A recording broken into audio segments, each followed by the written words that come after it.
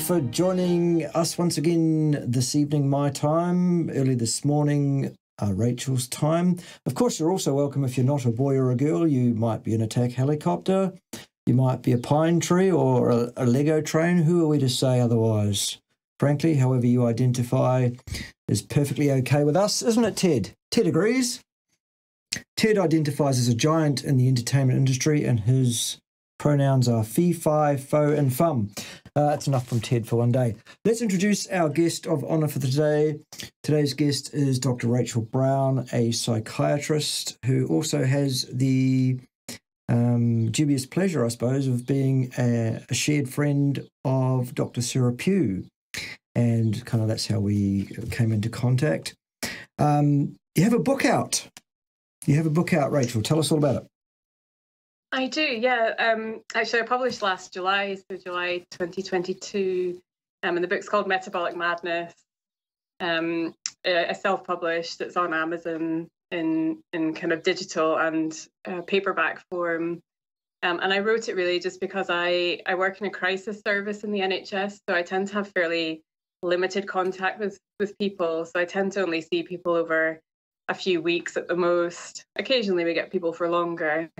Um, but I just really wanted an opportunity to be able to put in writing everything that I really want to tell people in relation to their metabolic health and how it impacts on mental health.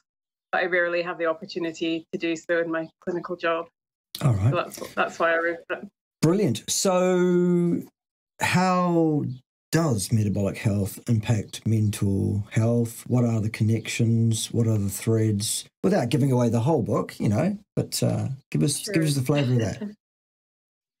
Sure. Yeah. I mean, I, I always say I think there are so many different connections because I I've grown increasingly frustrated in in Western medicine or allopathic medicine in, in terms of the silos that the different medical specialties get placed in. And um, I went through all of my psychiatric training, really placing a lot of emphasis on genetics and family history and um, people's personal life experiences and adverse childhood events and, and those types of issues, trauma in the background. But actually, I think when you look at the science these days, there's a lot to suggest that metabolic health is absolutely crucial for mental health. And so I, have I've I've trained in functional medicine in the last couple of years, and that also piqued my interest, particularly in terms of gut health. Um, and trying to look at the root cause because I don't think that we necessarily do that all that well in in allopathic medicine. So it tends to be a what medication can you prescribe, what diagnosis do you make, and what psychological therapy do you prescribe, or other other multidisciplinary intervention that you get into without necessarily thinking what's happening at a cellular level in the body and what's happening in terms of your metabolism and your brain energy. Uh, so lots of different systems involved. Um, I always start with the gut because I think gut health is absolutely key. Um, but I also think that the state of the research in terms of gut health is in its infancy. So I think there's so much that we just don't know yet about the microbiome. Um, however, we do know that leaky gut or increased intestinal inflammation leads to uh, systemic effects throughout the body. Um, when you open up the tight junctions in your intestinal cell wall, then you can have leakage of toxins and other irritants into the bloodstream that then spark off a whole immune system reaction. Um, I was watching an interesting podcast by Dr. Paul Mason yesterday, one from a few years ago that I hadn't actually watched until very recently, um, and it was all about lectins. Uh, so even just within that podcast, our lecture, he was talking about um, the evidence for lectins traveling up the vagus nerve into the brain um, and, quoting different figures in terms of studies and, and, the relationship between lectins and the risk of Parkinson's disease. So that's just one example of what can happen in terms of the foods that you consume and the, the further systemic effects that that can have in the body, particularly in relation to inflammation in the brain. Um, I feel a bit on shaky ground when I mention mitochondria around you, I must admit. I ah, please, please. I won't bite, I promise. but I mean, mitochondrial health is absolutely key as well for, for mental health and, and also involved in the immune system response and the inflammatory response in the body. And oxidative stress is a huge one. Um, and we know that high carbohydrate diet, um, you know, leads to mitochondrial dysfunction and an imbalance between your reactive oxygen species and your, your endogenous antioxidants. And then you run into difficulties with brain metabolism in terms of having sluggish glucose metabolism in the brain over time, particularly if you have difficulties in relation to insulin resistance um, at the blood-brain barrier. So they're they're all there are many different pieces to the puzzle. Um, sure. That's a quick a quick uh, rattle through some of the some of the main issues. Brilliant. So the best diet you think at large as a sweeping generalization for most people in terms of mental health would be what? Um, so I would say a low carbohydrate diet. I I am particular fond of ketogenic diet because I think the science and there is ongoing research. I've had some involvement in a pilot study um, based at the University of Edinburgh that we've just finished completing completing that and we're in the process of analysing the data. But um, there's going to be a lot of research in the, ne- in the next year or two, I would say, um, particularly in terms of clinical trials of ketogenic diets for major mental disorder. Um, I trained with Dr. Georgia Ede um, two years ago now, so it was January 2021. So she's really, she really spiked my passion to to try to promote this further and to really try to promote the field of metabolic psychiatry and more lifestyle interventions for mental disorders. Um, however, you know, I am particularly fond of the carnivore diet myself, so I, I, I do wonder whether in the future um, there's going to be further evidence that actually having having it well some may consider a more extreme form of a ketogenic diet being a carnivore diet but i do suspect that there are benefits in relation to carnivore in relation in terms of mental health even when people necessarily haven't seen the improvements they wanted to see even with a ketogenic diet so i think mm. what i'm trying to say is a lot of the evidence now points towards a ketogenic diet because of the unique aspects of ketone bodies in terms of reducing inflammation and reducing the inflammatory and immune response in the body. Um, but I do know, and I'm in contact with quite a number of people where a ketogenic diet didn't necessarily improve their mental health to the point they wanted to to be. Um, but but they've all they've gone on to have a lot of success with a carnivore diet. So I'd really love for that to be researched further um, in the future. Awesome, awesome. Okay, so tell us about this fondness that you have for you know for yourself in terms of the carnivore diet. What's your experience there? How did you come to it, or whatever diet is? First of all, tell us what your diet is. I shouldn't preempt, and tell us, you know, how you came across that, how you came to form that that dietary habit, I guess, or lifestyle, and what your experiences have been. Wide ranging, up on your hind legs, basically. Tell us, tell us all. Okay, okay, I'll do my best. So, um, yeah, I've been carnivore about three and a half years now, and I just stumbled a- across it. Um, so, kind of going back a bit further, I first got into low carb. It was probably around the year 2000. So it's when Atkins came out and was all the rage. Um, and I remember an uncle of mine had come over from America to visit, and, and he was the first person who mentioned to me about Atkins. And it was just something I hadn't really heard of before. And I bought the book and then delved into all of that, and off I went. Um, but I, I, I hadn't realized over all of those years that intervened that I had a major sugar addiction. Um, and that's something that carnivore has really highlighted to me. So, probably about six or seven years ago, I'd been low carb for 10, 11 years consistently but not necessarily to the extent of being ketogenic. And um, there was some illness in my family in terms of neuro- neurodegenerative disorders, and I I decided it was time to commit to doing a proper ketogenic diet. Um, so I went properly keto six or seven years ago now, and it was just a keto influencer. I, I don't like that term influencer, but it was uh, Vanessa Spina, our ketogenic girl, um, whose work I really admire, and I, I really enjoyed some of her meal plans that she published and some of the content she puts on her podcast. I find it really interesting. So I really respected her view. Um, and she happened to post that she was doing a carnivore diet trial, and that's how I first heard of carnivore. When I first heard of it, I thought, "What on earth is what on earth is she doing? That's absolutely crazy."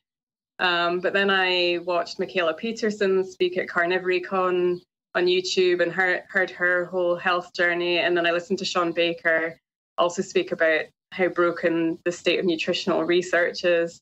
Um, and that was me sold. And I, I, decided to try it purely out of curiosity because I, at the time I didn't think I had any major health problems. You know, I was I was kind of just getting along, um, not really complaining of anything major health wise.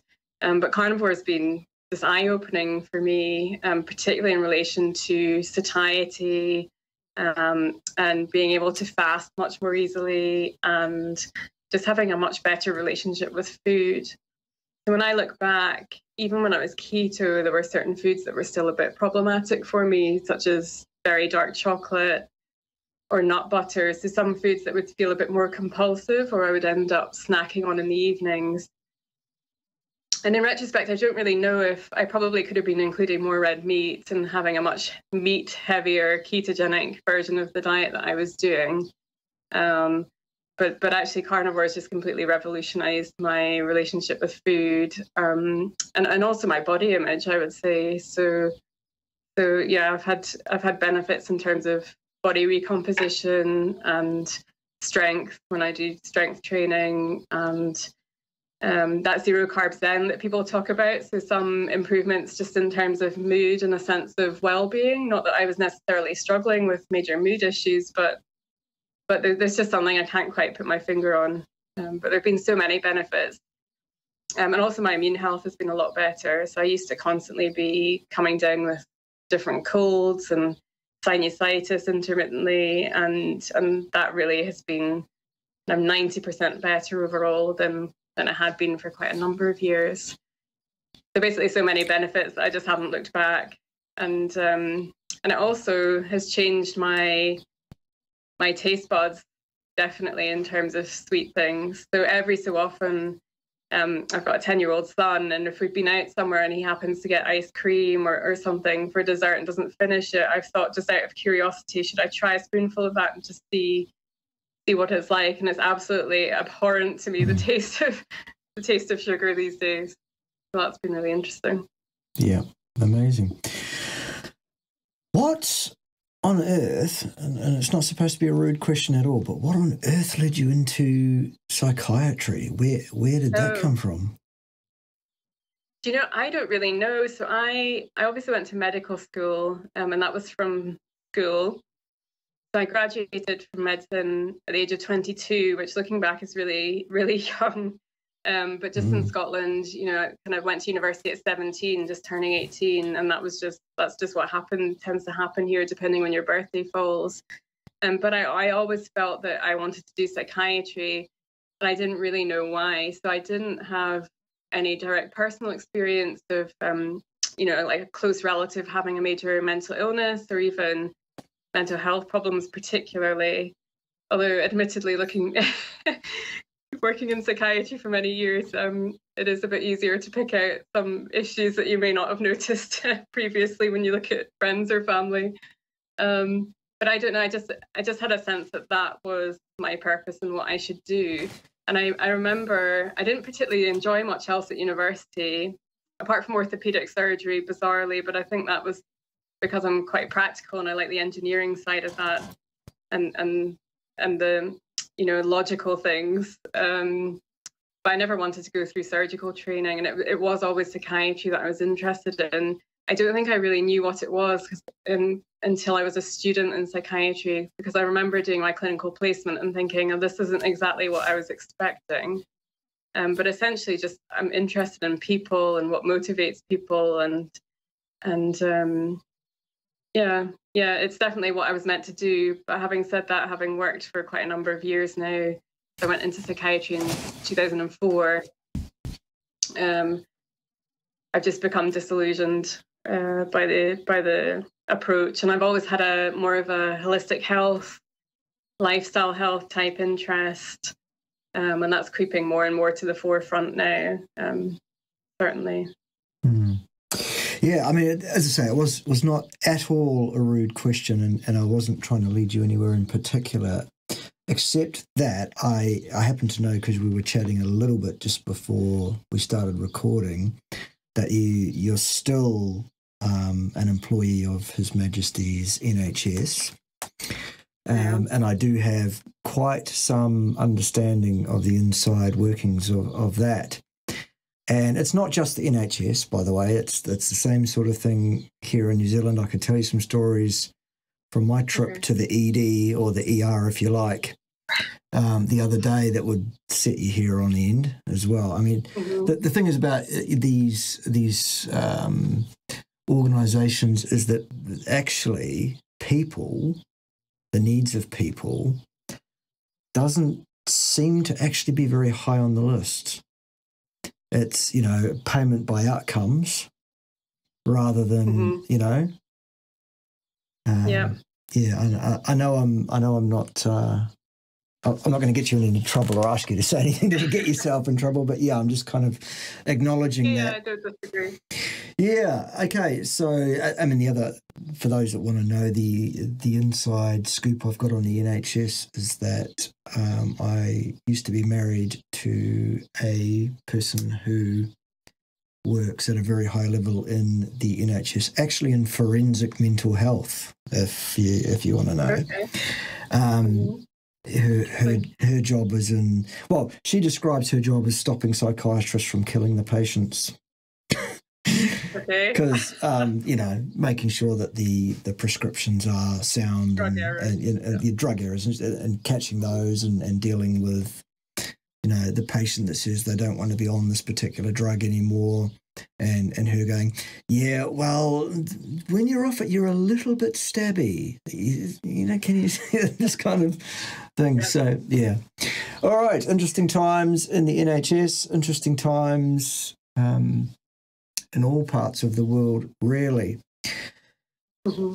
So where do we go? Worry, go on. Yeah, I was just going to say I worry a bit about um, about the treatments that we give people, particularly some of the more modern antipsychotic medicines and their tendency to cause insulin resistance and yes. metabolic dysfunction in them in themselves. And yeah so I, I just i have lots of ethical concerns. I i also did a i have a master in medical laws and ethics which i did along the way in, in my kind of when i was a higher trainee in psychiatry. And so i have an interest in medical ethics as well so i think that's probably an angle that comes in here too so so yeah, quite a few conflicts. Yeah, because I mean, very much within that allopathic pathway, very much paint by numbers, very much, you know, stay inside the lines. The tools that you would have available to you are limited. They are on a list of, you know, you can use this for that and that for the other thing. Here are the here are the licenses and things. And obviously you can't think for yourself. You can't deal with what's in front of you with any degree of creativity at all because you're going to get struck off, aren't you, if you step out of the lines? Oh, yeah. Yeah. So, um, I, yeah, from what I've seen of other colleagues and myself, I, I am acutely aware that as a practicing psychiatrist, we're, we're all open to criticism, particularly from our regulator. Um, and yeah, I don't want to be too pessimistic about it, but I I suspect it's not pessimism. I suspect it's more realism that that you could be doing as good a job as as as the as the next person and still run into a lot of criticism. Just just even you know about what medication you prescribe or why didn't you do this or why did you not prescribe that treatment for somebody or why did you make that diagnosis it should have been a different diagnosis and then there's so much subjectivity um, in the field of psychiatry as well. That that uh, yeah, it's not necessarily an easy place to exist as a professional. All right. So where do you see your future, Rachel? What where do you go from here? Do you stay in psychiatry? Do you branch out from there? And perhaps you could go back to orthopedics, and then you could come and re-engineer this this tendon what I bushed.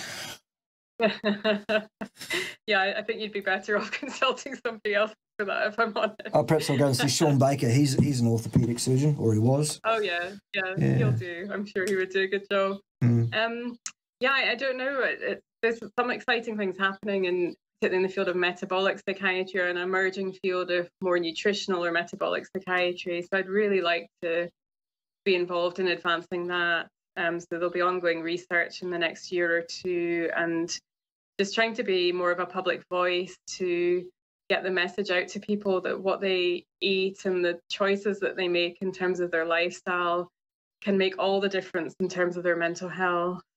Um, whether I, you know, I, I would love to establish some sort of service within the NHS, although albeit you you'll still be restricted. But I think even if you were practicing out with the NHS, you'd still be restricted by the regulators. Um, but yeah, I don't know. Things are up in the air. So I'd really like to develop something in the NHS so that people have an option that, that is different to just the standard that's on offer these days. But if it ends up I have to move more into private practice or more down a functional health route, then that might be a possibility as well. Mm. Well, I mean, again, making assumptions. You you appear to be, you know, young enough to have that um, ability to to change direction and, and do something different. I'm not suggesting you absolutely should by any means. I mean, the the NHS is a is a fine profession if if you can survive in that world. Um, yes. So, true. yeah. Yeah, interesting, interesting stuff. All right, so with all of that being said, um, final words of wisdom, uh, ideas that you want to share, things that people need to get a handle on in terms of what do they need to understand going forward about you know mental health and its connection to diet and the gut and, and all of that. Give us a bit of, a bit more on that, I guess. Yes, I mean, I essentially think of mental health disorders as inflammatory disorders of the brain. Um, there's a lot of evidence to show there's raised inflammatory markers, and, you know, when somebody's experiencing either an acute or even sometimes a chronic mental health disorder. Um, yeah, gut health I, I mentioned earlier. Um, it, it's just it's hard to get across to people just how vital what they choose to put in their mouth is because we're living in a time where the nutritional guidelines and the pyramids and so on have been pushing a very carbohydrate heavy um, seed oil filled diet um, all of which the you know all of those foods are inherently inflammatory in the body and and there's there's a lot um, in the way of evidence in terms of trends of morbidity data. So rates of type 2 diabetes and obesity. Um, if you look at the graphs there, all of that has just skyrocketed and continues to, um, as do mental health disorders. Um, so it just seems to fit. And I'm not a huge fan of epidemiology, but from a from that point of view, the trends do seem to go in that direction.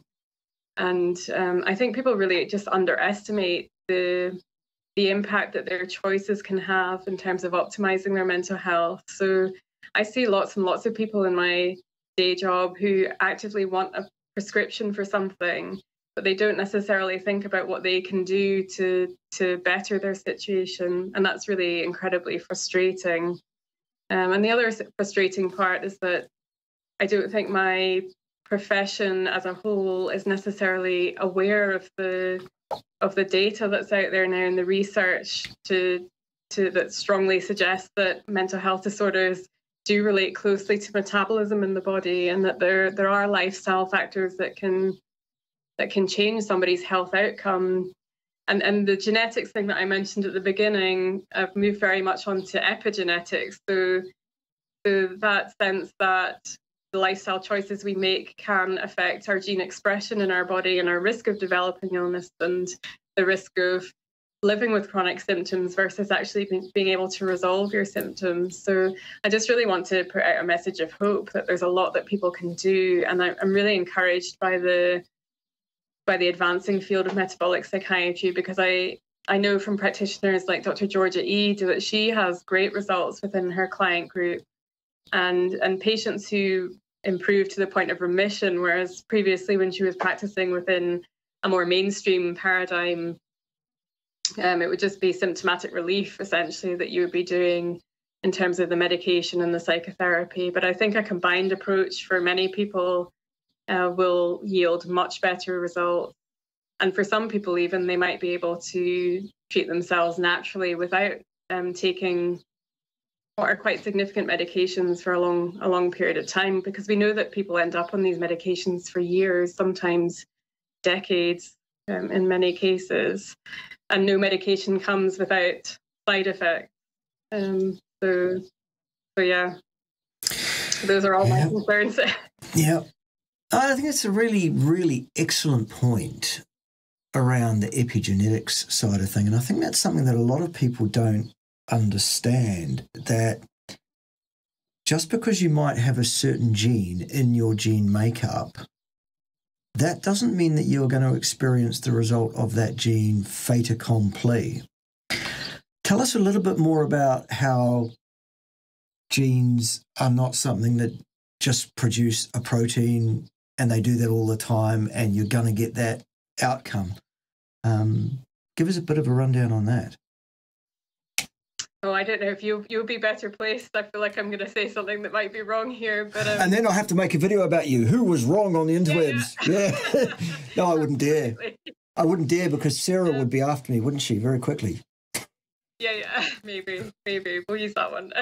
mm. um, um, I don't know that I can give a comprehensive overview, but I my brain tends to work on basic principles. So when I read the research, and that's part of the reason I wrote the book was so that I was able to summarize and make notes for myself to refer back to. But I tend to take away basic principles. And um, I've been a big fan of Mark Sisson's work for many years. Um, so from Mark's Daily Apple and the whole ancestral health perspective. And I think it was probably Mark Sisson who first turned me on to the idea of epigenetics and, and the fact that our our genes do not determine our destiny because your environment and and yeah, it's not just genes. It's a lot of it's about environment and the choices that you make. And so you can switch on and switch off certain genes. I know that the mitochondria come into that as well.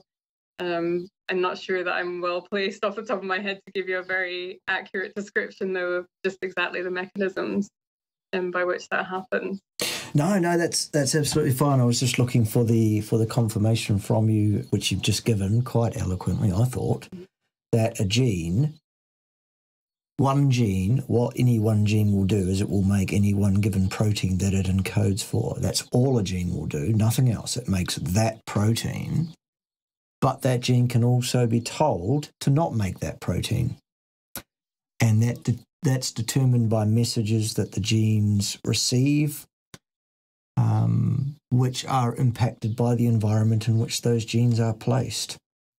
So for example, you might have a gene set that would lead you very strongly to a much higher likelihood of, for example, type 2 diabetes, obesiogenesis, those kind of issues. And yet you might be fit, strong, muscular, you know, slim and lithe, despite the, the entirety of that gene set, if you place those genes in the right environment, i.e., you treat yourself right. And I genuinely believe the same is true with regard to mental health conditions. Any, you know, there's no difference, I don't think, with mental health issues and many other health issues, even including the underpinning etiology, which I think you've also mm-hmm. mentioned already, and that is inflammation. Yeah, ninety something yeah, I mean, percent of the time. Yeah, yeah. In the process of writing what I wrote and just going through all the the research and trying to make all the connections for myself for my own understanding it has completely revolutionized my view on mental disorders and that's that's coming from somebody who's been practicing psychiatry um, for quite a number of years now and it's really exciting because it's just opened up a whole new realm of possibility in, in terms of how you actually approach people who come in in, in a a state of mental distress. And um, yeah i'm just very encouraged by all because i, I absolutely agree with you. I, I don't look at mental disorders as any different to any other physical health disorder. It just it just happens to be manifesting um, with a slightly different pattern of symptoms more behavioral type symptoms or or mood or whatever you want to classify it as. Um, but i i would i would be really hopeful that that trying to get this knowledge out there and to let people understand that there are underlying there's a clear underlying physical health basis to mental health disorders um, that that would hope that that would hopefully take away some of the stigma that so many people have to deal with when it comes to mental health. Because ultimately, I don't view it as any different to any other disorder in the body. Um, and I happen to be interested in metabolism and and um, risk of heart disease and obesity and type 2 diabetes and so on. So it's just even better that it happens to all fit together with that as well. Excellent. Our modern, our modern day diseases, as they say. Brilliant. Absolutely brilliant. Outstanding. Um, there's half an hour cut out with no difficulty whatsoever. Um, as as I knew there would be. I could talk to you all day, of course because um, I think it's a really fascinating area. I do thank you very, very much, Dr. Rachel Brown, psychiatrist. Tell us again the title of your book. It's called Metabolic Madness. Metabolic Madness by Dr. Rachel Brown. And you can get that on Amazon, apparently. Yeah. Yes, excellent. Get uh, no, not at all. Get a, get get hold of your copy, boys and girls. Those are your orders, my meat militia um, Snap to and all that, and salute and go and get that happening. Um, do you do social media and that? I presume not as an NHS current employee that you, you're not doing that kind of craziness. Well, I am actually. Oh wow, um, good. Tell us I'm about on it. Instagram. Okay. yeah, I'm. Uh, what can I say? I'm a, a bit rebellious at heart, so um, I'm on Instagram as Carnivore Shrink. That's my name on Instagram, and there are various links in my profile to my website and so on. Awesome. Very good. All right, we'll uh, we'll we'll wind up there. As I say, thank you very much for your for your valuable time this morning, your time this evening, my time, and um, we'll catch Thanks. up with you around the traps. So, um, just before we do go off, though, like I heard from a little bird, whose name is Dr. Sarah Pugh. So there you go. That's the little bird. that she suggested to you that you do an interview with me, and your immediate reaction was like, "Ooh, ooh, not sure about that." tell, just tell us that story before we go. Yeah, so um, it was probably were we messaging on Instagram? It might have been. It was definitely a written form of message, and um, she suggested you, and I think my instant reply was, "Oh, he's a bit intimidating." And I probably put an emoji in, in there, and then she replied saying, "Oh, he's actually a really really nice person. That's that's a bit of a character for for his YouTube channel." And I said, "Oh, okay." So I, I kind of I trust her opinion on things. um, but it made me laugh when you, when she was on your recent podcast, and then you you were talking about that because that that was just a very bizarre experience for me because I I was kind of winding down in the evening just watching the podcast enjoying just listening along and then suddenly my name came up and she mentioned that, that I thought you were intimidating. So that's mm. that story. yeah, I'm not really. I'm not really. But that just, hasn't been yeah. my experience today. No, good. All right, I'm glad that uh, I'm glad that it wasn't too wasn't too uh, intimidating and all of that. And um, look, it's it's been an absolute privilege and pleasure to have you. Some very very interesting perspectives on an area that I think really definitely needs a lot more research, frankly, because it really is very, very important. Most of the current allopathic uh, treatment methodologies for mental health issues are appalling chemical shitstorms that really do more damage than good long term. They may control symptomology, I find. This is my just my personal opinion, but at the expense of long term health. So what's the point? Um, it seems to be a band-aid approach when we really really need something a bit more holistic a bit more curative a bit more supportive. But anyway i'll, I'll say that and and we'll leave it at that. As i say once yeah. again a pleasure. Okay. All right. Catch you next time boys and girls. Thank you. Thanks for having me. Not at all